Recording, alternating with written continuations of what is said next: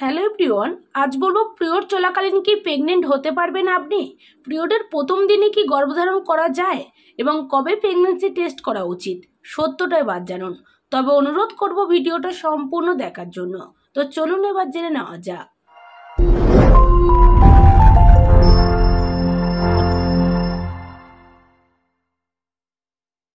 অনেক মহিলাই মাতৃত্বের স্বাদ উপভোগ করতে চান। সেই মতোই পরিকল্পনা শুরু করেন তারা।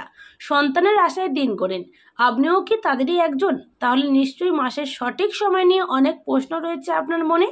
এবার যেন পিরিয়ড চলাকালীন প্রেগনেন্ট হতে পারবেন কিনা। মাসের তিরিশ দিনই গর্ভধারণের জন্য উপযুক্ত বলে মনে করেন অনেকে। কিন্তু প্রত্যেক মাসে হাই রিক্স পিরিয়ড এবং লো রিক্স পিরিয়ড থাকে। আর এই সময় বুঝি দম্পতিদের উপযুক্ত পদক্ষেপ করতে হবে। অন্তত ছ মাস থেকে বারো মাস পর্যন্ত চেষ্টা করতে হবে। আর তারপরেও যদি সন্তান ধারণে সফল না হন, তাহলে চিকিৎসকের পরামর্শ নিতে হবে। আর আপনার যদি কোনো শারীরিক সমস্যা থাকে, তাহলে সন্তান ধারণের পরিকল্পনা শুরুতেই চিকিৎসকের সঙ্গে আলোচনা করা বাঞ্ছনীয়। এবার যেমন মাসের কোন সময় সম্ভাবনা সবচেয়ে বেশি? প্রত্যেক মহিলা শৈলে এক মাসের একটি সাইকেল হয়। পিরিয়ডের প্রথম দিনকে সেই সাইকেলের প্রথম দিন বলে মনে করা হয়। আর সেদিন থেকে শুরু হয় বারো থেকে সতেরোতম দিনকে হাই রিক্স পিরিয়ড বলেন বিশেষজ্ঞরা। এই সময় শারীরিক মিলনে গর্ভধারণের সম্ভাবনা থাকে সবচেয়ে বেশি। তাই বলে কি মাসের অন্যান্য সময় সঙ্গীর সঙ্গে ঘনিষ্ঠ হলে প্রেগনেন্ট হবেন না? হতেই পারেন। কিন্তু সেই লো রিক্স পিরিয়ডে গর্ভধারণের সম্ভাবনা থাকে খুব কম। প্রায় নেই বললেই চলে। এই পর্যন্ত জানার পরে আপনার মনে নিশ্চয়ই এই প্রশ্ন আসছে যে পিরিয়ড বা ঋতুস্রাব চলাকালীন কি গর্ভধারণ সম্ভব নয়? সাধারণত সম্ভব নয়, কিন্তু এই সম্ভাবনাকেও একেবারে ফেলে দেওয়া যায় না।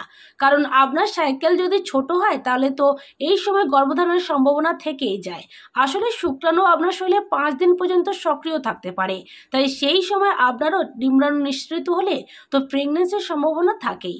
তাই আপনার যদি সন্তান ধারণের কোনো ইচ্ছা না থাকে, তাহলে পিরিয়ডের সময়ও প্রোটেকশান নিয়েই ঘনিষ্ঠ হওয়া উচিত।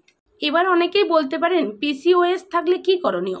পিসিওএসে আক্রান্ত হলে গর্ভধারণের আগেই চিকিৎসকের সঙ্গে আলোচনা করুন। পিরিয়ডের প্রথম দিনে কি গর্ভধারণ করা যায়? সাধারণত না, কিন্তু এমন ঘটনা ঘটলেও ঘটতে পারে। এবার অনেকেই বলতে পারেন, কবে প্রেগনেন্সি টেস্ট করা উচিত?